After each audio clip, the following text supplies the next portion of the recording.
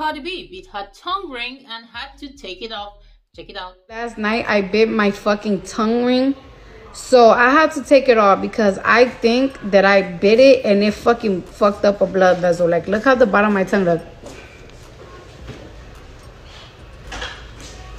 Ah.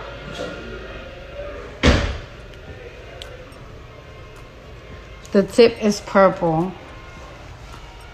So yeah, I'm traumatized.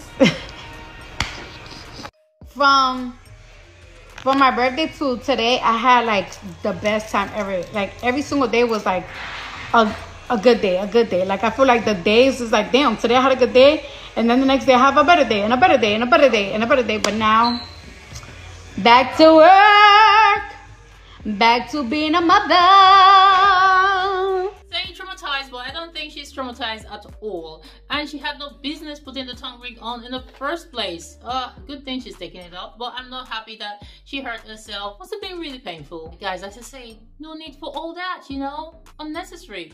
But what do you think? Drop a thoughts in the comment section. And before you go, don't forget, like, share, subscribe, hit the bell icon, and I'll see you for the next video. Bye.